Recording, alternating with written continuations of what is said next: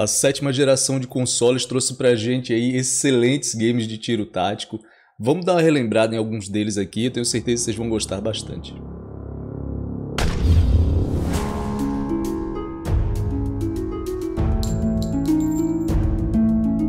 Ok, beleza guerreiros, eu sou o William Ruff. Hoje eu vou falar com vocês aqui sobre cinco games excelentes que ficaram presos aí na sétima geração de consoles, que muita gente nem teve a oportunidade de conhecer, de jogar e tal, infelizmente, porque eles realmente são excelentes. Mas antes, curte, compartilha, se inscreve aqui no canal, caso seja novo por aqui. Se você curte gameplays em stealth, gameplays táticas, roleplay, operações especiais, enfim, tudo relacionado aos games de tiro tático, com gente que entende de verdade do bagulho, então você tá no local exato, guerreiro, beleza? Se inscreve aí, ativa o sininho e vamos que vamos.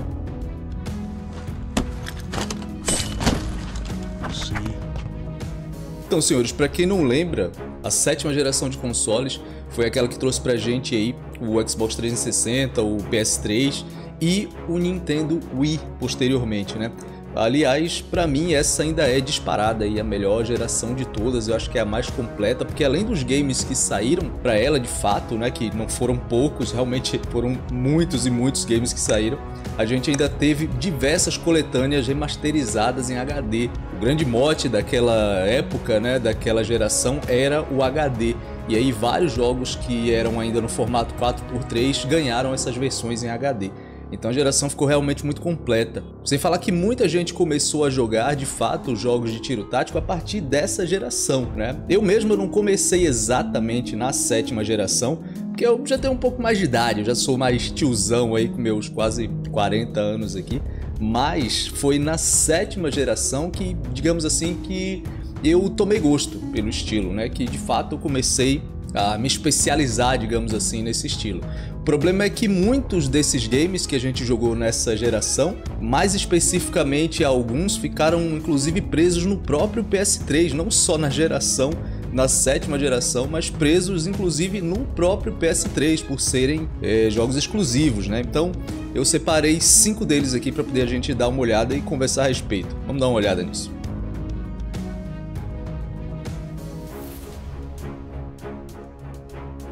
Metal Gear Solid 4 Guns of Patriots. Esse é um dos games mais icônicos da sétima geração, né? Acho que ao lado do The Last of Us, né? E acabou ganhando ainda mais peso por ser um, um game exclusivo de PS3, né? É, nem mesmo para PC ele saiu. Então a única forma de jogar esse jogo realmente é tendo um PS3. Não existe outra forma. É um absurdo isso, né? O game até hoje ele é tido por muitos fãs aí como um dos melhores da franquia, talvez o, o melhor, né? Em relação a mecânicas, história também que é muito boa, muito densa.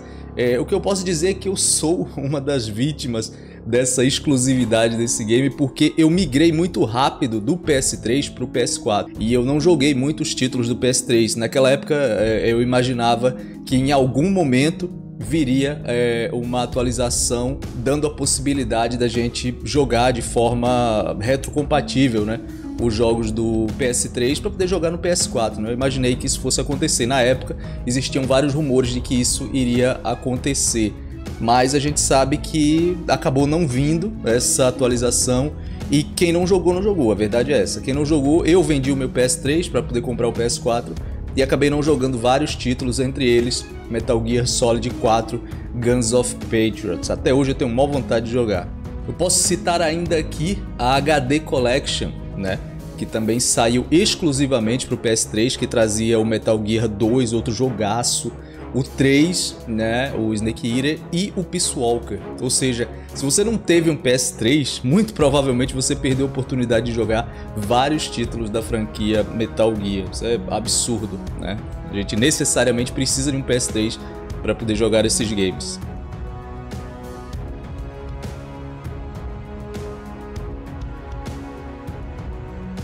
Killzone ele é um game que me marcou muito no PS3 porque é um dos poucos títulos aí em primeira pessoa que eu consegui jogar, né? Mesmo com muito sacrifício. Como vocês sabem, eu tenho cinetose, eu não jogo games aí em primeira pessoa, mas eu forcei ao máximo para jogar, principalmente o 3, o Killzone 3, que eu lembro que foi um final de semana ali que eu não tinha nada para jogar e eu tava muito afim de jogar esse jogo. E eu tive que meio que ir jogando em sessões de 20 minutos ali. Eu jogava 20 minutos, parava, dava uma, uma relaxada e tal, tomava uma água, dava uma andada e voltava, jogava mais 20 minutos e tal. E eu fui nessa aí durante um final de semana inteiro, acho que até passou um pouco do final de semana, para tentar jogar e terminar. Inclusive eu consegui terminar isso lá para 2011, se eu não me engano.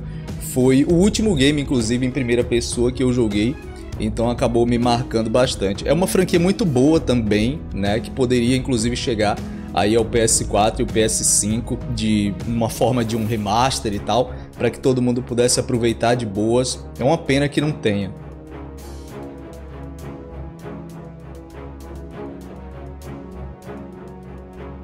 Ghost Recon Future Soldier, ele é um dos principais títulos da franquia Ghost Recon.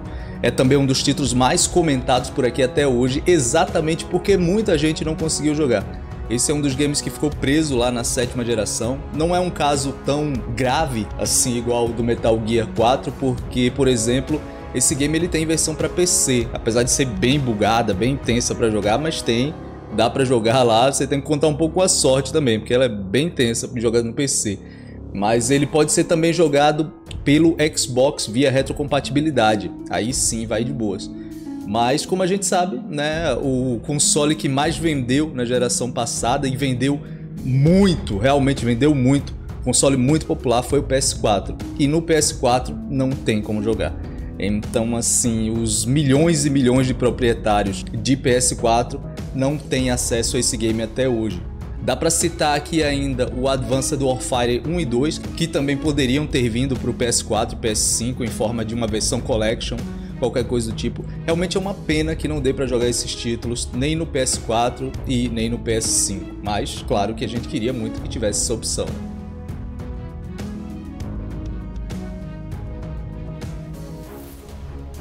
O Splinter Cell ele é um caso bem parecido com o do Ghost Recon Future Soldier, né? no caso do Splinter Cell é, poderíamos ter facilmente uma versão remasterizada aí do Chaos Theory, do Double Agent, do Conviction e do Blacklist, todos eles no mesmo pacotão ali. Sinceramente, eu não consigo entender por que a Ubisoft nunca fez isso, né? Convenhamos que seria muito simples, com certeza venderia muito bem, deixaria os fãs muito felizes.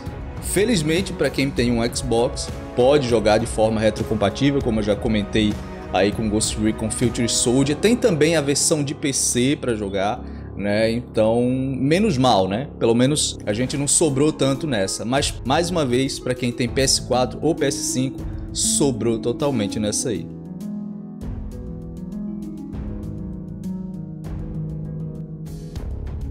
Spec Ops The Line é um dos games mais icônicos da sétima geração, ao lado do Metal Gear, ao lado do The Last of Us, na minha opinião e que ficaram presos nela, mais um, né, que ficou preso lá. História muito boa, gameplay muito boa, muito fluida. Seria um game que faria sucesso muito facilmente no PS4. Né? Existe uma demanda hoje por jogos desse tipo, com certeza faria bastante sucesso. Mais uma vez eu lamento muito por tantas pessoas não terem a oportunidade de conhecer esse jogo. Sempre que eu comento em algum vídeo e tal, alguma coisa do tipo, sempre tem algumas pessoas que perguntam: "Pô, que jogo é esse? Eu não conheço e tal". Quer dizer, um jogaço que é conhecido por poucas pessoas. Até hoje eu não entendo muito bem o que é que impede o PS4, principalmente o PS5, de ter uma retrocompatibilidade com o PS3, né? Nessa lista aqui eu só citei 5 desses games, mas claro que existem aí inúmeros outros títulos excelentes que ficaram presos na sétima geração. E o pior é que alguns eles são inclusive exclusivos do PS3, né? o que restringe ainda mais o acesso eu já tinha comentado aqui há um tempo atrás que tá aí nos meus planos adquirir um PS3 só para poder trazer alguns games desses aí aqui para o canal. Eu não sei se, se dá para emular esses games no PC. Se vocês souberem de algo, inclusive, comentem embaixo porque eu tenho bastante interesse nisso, né? Principalmente para poder jogar aí o Metal Gear 4. Nossa, tenho uma vontade de jogar esse game aí, tem que dar um jeito, né?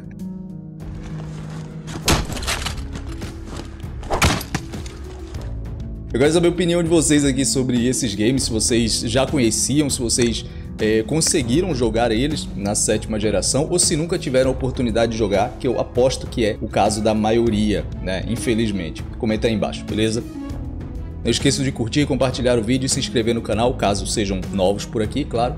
Se quiserem ajudar ainda mais o canal, tornem-se membros. Dá uma olhada aqui embaixo, clica no botão Seja Membro, dá uma olhada nos benefícios, muita coisa boa. Você pode inclusive fazer parte do nosso grupo exclusivo de membros, pode fazer parte também do nosso squad tático, jogar com a gente da forma que vocês estão acostumados a ver aqui, de forma tática, todos os games. Basta fazer parte do squad de membros, beleza? Forte abraço a todos, foco na missão e até a próxima.